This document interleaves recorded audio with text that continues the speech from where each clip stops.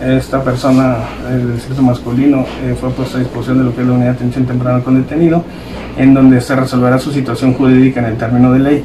Esta persona eh, cuenta con lo que es una orden, eh, un mandamiento judicial por parte expedido por lo que es el, el juez y en su momento